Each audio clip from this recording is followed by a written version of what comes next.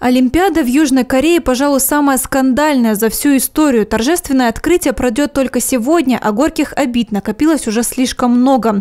Забайкальские хоккеисты поддерживают российскую сборную, как умеют, честной игрой. Причем играть будут целые сутки.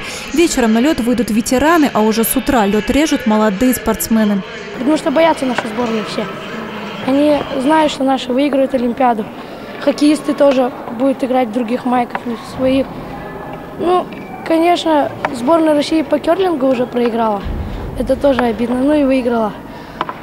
Ну, лучше я пожелаю удачи спортсменам, хоккеистам и биатлонистам, чтобы они выиграли эту Олимпиаду.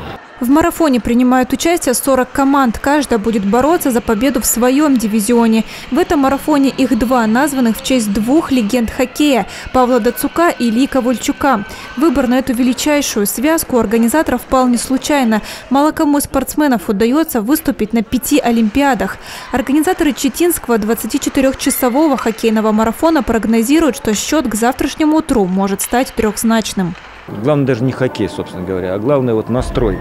Э, чтобы создать такое ощущение Олимпиады, во-первых, что она идет.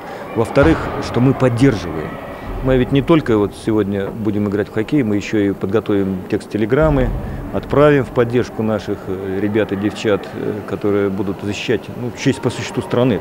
Ну, ну нет флага, но я же россиянин, я, я же русский, как нас за границей называют всех, независимо от национальной принадлежности. Это русские, понимаете?